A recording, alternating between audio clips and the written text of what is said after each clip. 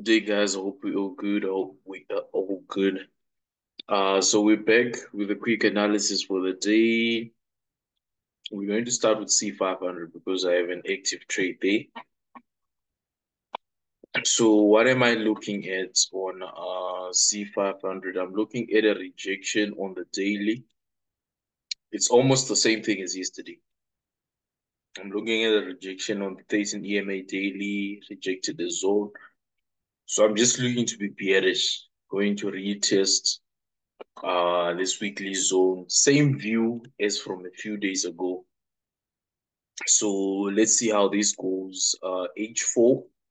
So now we're just looking for reasons to scale in because I do have a bias and I'm looking forward for price to come take out these lows here and these lows here as well and potentially get to the weekly low around 3250 anywhere around those areas. So dropping down to the h1 we have a nice bearish engulfing candle which also broke its structure. So i am bearish definitely. Uh where could price potentially pull back to? They can pull back uh to this red line here which is on uh 3508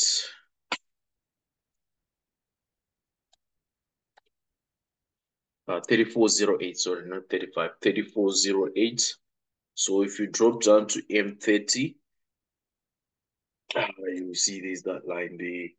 Where else could price potentially get to? They can potentially uh okay we actually have momentum but we can potentially retrace into that looks like an order block to me.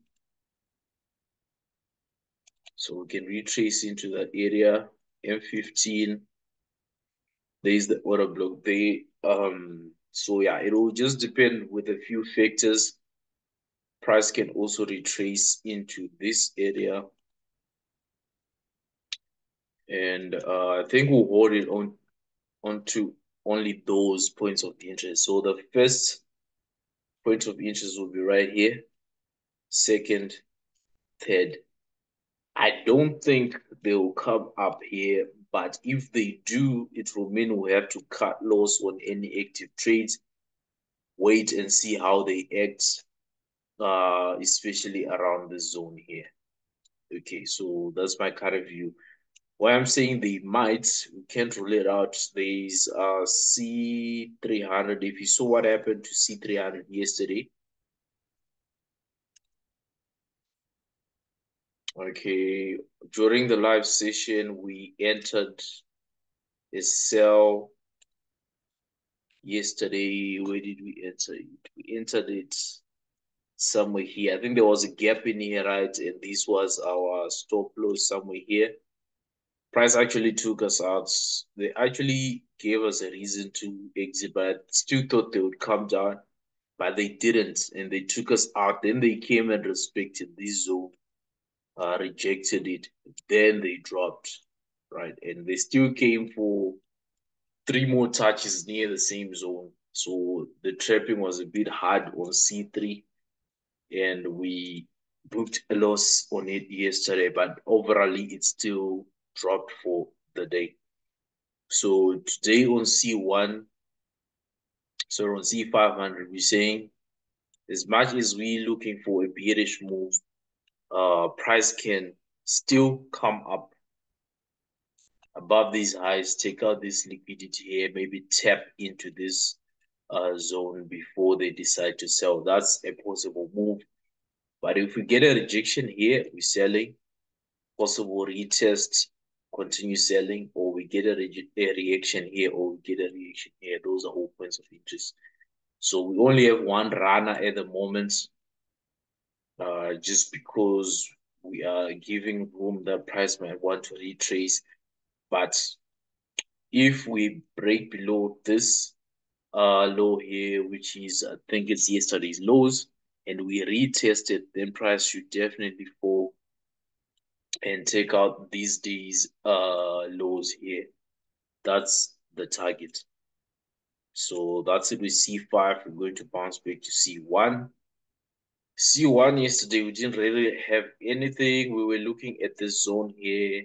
It was respected for a few pips, but I didn't take this particular trade. So today, my point of interest is this order block here. You can see this one was respected here. So prices come above it. Now they are pushing up intraday. But once we get to this zone, we should be able to get some spikes, possibly here, maybe a retracement to the 13 EMA, or maybe yeah, for price to actually create a pattern, then it will continue pushing down. But definitely, we should be able to get uh, a few pips from this zone. Then we see there's an 800 EMA coming here. If we happen to break this zone, we will definitely possibly possibly fall uh, from this area at the top here, which is also in line with the zone if you just extend it. So that's the H1. So that's my view for C1. Uh, C300, still got a st strong uh, sell bias. The only thing, the only thing which might uh, delay us on this trade is we'll be looking for uh, a possible entry point. This price action for me uh, looks like a reversal. Is we're going up this particular price action. Maybe we might have to wait for the today's candles to close, maybe trade it tomorrow and Sunday. But um, for now, I'll see with this, I'm looking for sales. Drop down to H4. Same thing if we close below this zone and we get a retracement, then I'm definitely jumping into sales. And I think it could be a good drop. There's a high possibility. But also we should be open to the fact that price can still retrace up. Check out all the people who are correct with the sell right now. Everybody who's been selling right now, obviously stop losses are here, stop losses are here stop losses are here. So price might do this run, then they may they might come back up, then they might sell. So I'm just open to that possibility as well, and I'm also open to price just uh, making a run down. So we're flexible with that. For signals on this and updates, I'll share in the Telegram group right? So that's it for C3, C5, we spoke about it. B1 actually took me out yesterday. Uh, you can see I had a buy during our session somewhere at the top of this candle, but it was on M15. Then I was targeting this zone here. They eventually came there, but they took me out first. You can see this is the red candle which took me out and uh, my loss for the day was reached, so I didn't re-enter, even though the next uh, move actually played as well. So today I don't have anything clear for now on B1. The fact that it's been pushing up for a couple of days, uh, maybe I might wait for it here. Possible buys day around 14285.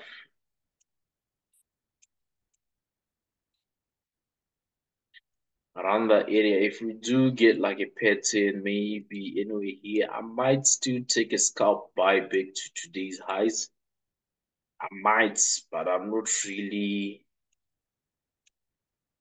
keen because you know what goes up must come down. But if price action gives us the reason to actually take the buy, then we will take the buy. You can see so anywhere around 14285 or slightly above, maybe on the 50 EMA. If we get something there, I might scalp a buy and I'll be looking forward to target this high, which is today's highs. So that's it on B1. On B500, uh, it actually came out, came down to these lows which we were talking about. I didn't take the trade though.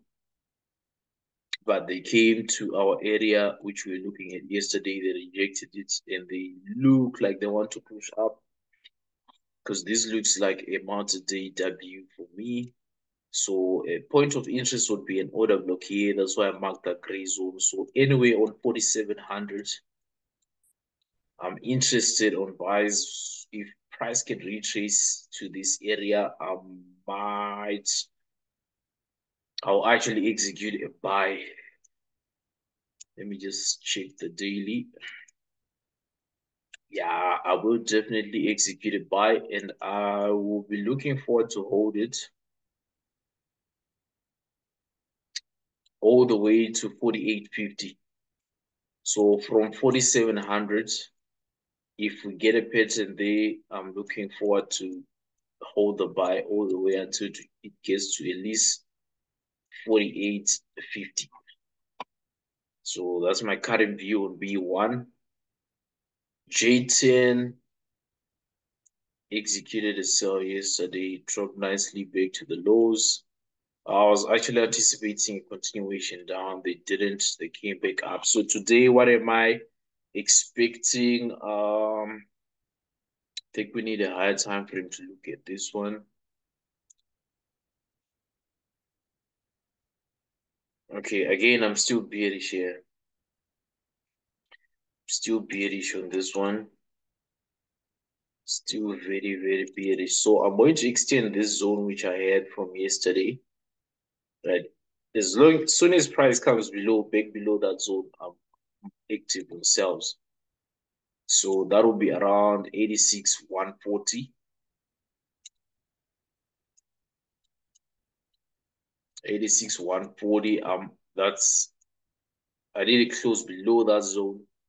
Then I'll just check if maybe there's room for a retracement, but I'll be looking for sales to take out this low and potentially come down to this low and still the view hasn't changed, I'll be looking forward for price to get to the trend line on the weekly chart. So I'm still bearish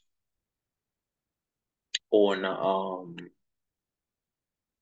on J10. Uh, what could happen is, let's say price wants to come up. What will be our reasoning for buys? What will make us want to buy? I would consider buys if price uh, keeps pushing up, right? So that will mean price is broken and it's retesting here, so it's pushing back up. But I'm not keen on buying since my bias is bearish. If I do get an M rather here, I will be keen to sell, right? Then if we do break and close above today's highs, then I might consider buys.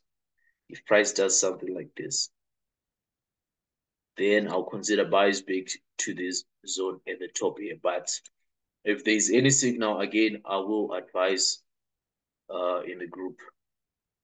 Uh, V250, uh, all the zones, I don't think we need them. Let me see. Okay, so currently on my trading system as we are looking at it, I'm on the buy side of the system, but I like again I want to look at how price reacts on the 50 EMA. So I'm currently on the buy side. Price can still push up all the way to these levels here.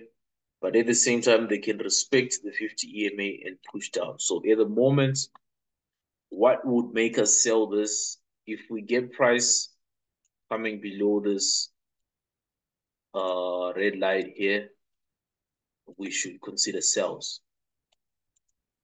right?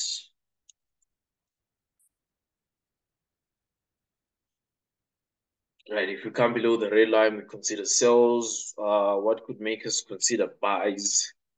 Uh, let me just check M15. Mm-hmm.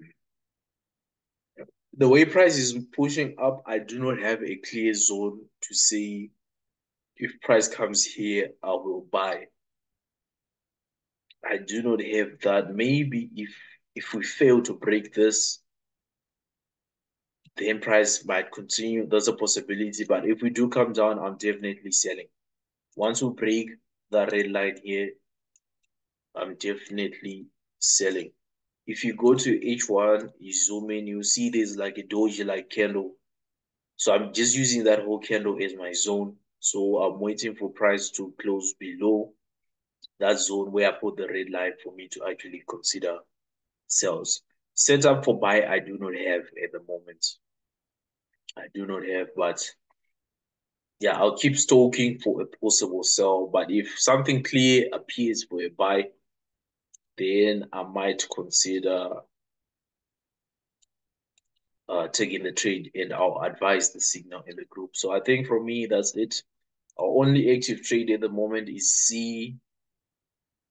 Yesterday, again, we were active as the Zoom ended and price slightly came above where we would put our stop loss, but you can see they gave a nice doji uh, and price uh, melted. So today, again, I'm anticipating price to just pull into this zone and possibly sell. That's my current view, but I'm also paying attention to this. I want to see what they want to do here.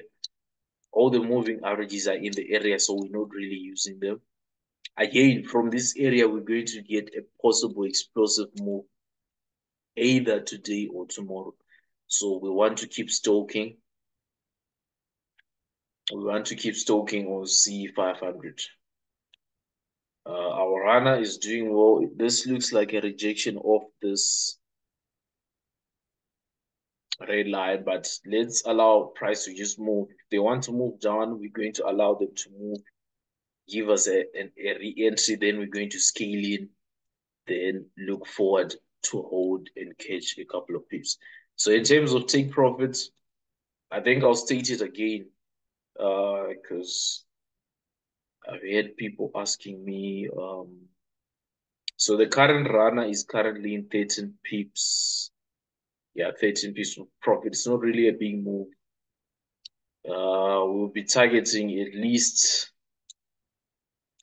if we break below the zone and we get that retracement and entry, we'll be looking forward to catch just 30 pips. It's not really a big move. So my point was like uh, someone was asking all the crash, be it crash 1000, crash 300, crash 500, I only look for sells. When it's trending up, I only look to sell the retracements of the uptrend. If it's trending down, I look to sell and hold. So if we're trading against the trend, the target is just usually 20 to 30 pips. If it's a low probability trade, target is the same 20 to 30 pips. If it's a high probability trade or if we're trading with the trend, target is 50 to 100 pips. Right. So vice versa for the booms. The booms are only look to buy. Uh, and I only trade B1 and B5. So if it's an uptrend, same applies. I'm looking for 50 to 100 pips. If it's a downtrend, I'm looking to buy the retracements. So it will be 20 to 30 pips. And if it's a low probability trade, the target will be 20 to 30 pips. So sometimes I might share a signal and I might not, not see the target. Just know that in my on my system, this is what I'm targeting. Right. J10, uh we don't really calculate pips. This one is a bit uh confusing in terms of pips. But we just go for a considerable V250 one S, same thing. So yeah, I think that's it from me today. Any other signals, I will advise in the Telegram group. I'm really anticipating a good sell here. If this price does not do anything funny, like coming all the way up here, we should get a nice drop.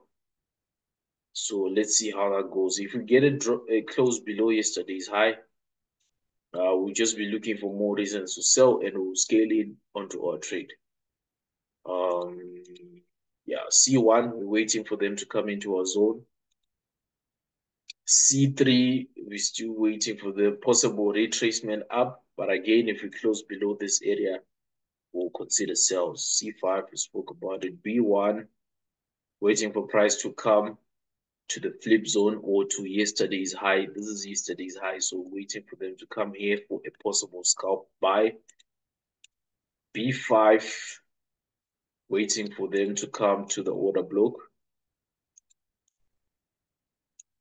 That order block there.